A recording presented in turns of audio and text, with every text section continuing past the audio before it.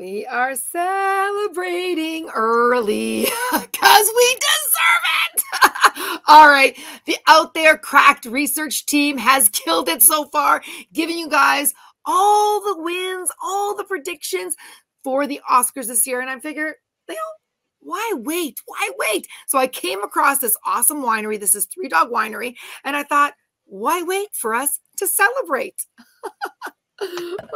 okay, Melissa.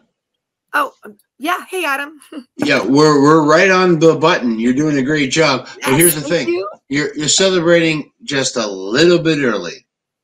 Okay, seriously, come on. You cannot say that even though the Oscar picks have not been finished, you can't say that we have not nailed it so far. So what I'm thinking is we're not going to wait. So I found this awesome winery, which is local. It's uh, family and and friend owned and operated. So it's great to support local. So I thought I'd get a variety of their wines for our celebration party because we are going to win the award for the most right awards. So I got some red for you and the crew, left it there. And this red is going to be great when we have the pizza and the wings that I also have on order. Okay.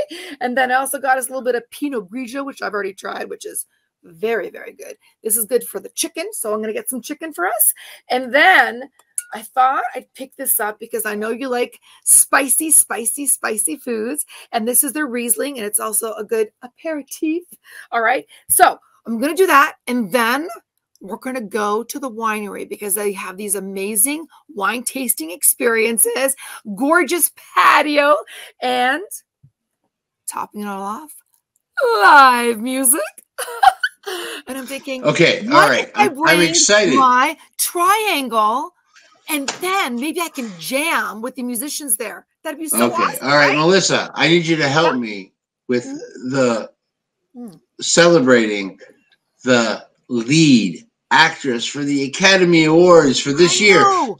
I want to, but first off, Adam, I think that this is awesome because if we go to the winery, this is Three Dog Winery, and if we go to this winery, we can experience and have our celebration party. Come on, it's gonna. No, listen. Awesome. I have some fun facts I need you to help me with. Can you help me? So oh, I believe this is happening. Check this out. Cate Blanchett is leaving her acting career to be a puppeteer. Uh huh. Seriously? You believe that? really? Come on, Adam. Just because she's holding these puppets does not mean she's leaving acting. That makes no sense at all. I didn't come up with it. So how about can you please introduce the movie? If is that possible okay, for me, can you help fine, me? Fine. Okay, so we don't know who's won the category, but That's I got right. some real facts. So why don't yes. you uh, put the show opening bumper and we'll do it? Okay, let's go to the opening show bumper and uh, I'll introduce her. Okay. Gonna be, gonna be, gonna be Hi, everyone. I'm Melissa. Welcome back to our Oscar coverage. All right. So exciting with our predictions this year. And Cate Blanchett is one of the nominees in a very popular category. This is for Best Lead Actress. It's a very competitive category. And Cate Blanchett is actually an actress who is Australian and the only Australian actress to have two Oscars. And now, She's up for a third one with her performance in the movie Tar. Now, I love her in some of her work. You probably know her from Carol or, oh, Notes on a Scandal and Aviator, of course. Okay, in the movie Tar, she plays a renowned conductor who experiences downfalls at the peak of her career. Check it out. Not so well. I keep hearing something this is going to sound so shallow. It was the first day of rehearsal with the Dresden Philharmonic, and I was so nervous. I was mm. really nervous because obviously I'm not a composer, I'm not a musician, and this pair of jeans, just it it I feel really great in them. So I put this pair of pants on and yeah. I stood on the podium, and my friend Natalie Murray Beale said, Make sure you plant yourself there and don't apologize for being there. So, between that piece of advice and the, begin the beginning of the downbeat, um, wearing that pair of pants, I felt an energy that I needed to embody.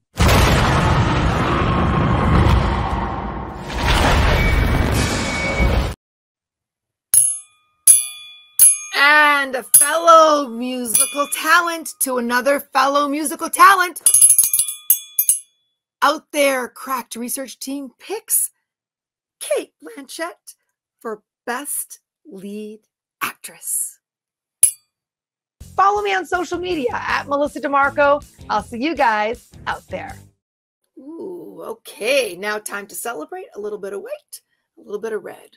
Hmm. Can't decide. Hmm. Maybe both. Hmm. Yes, definitely both.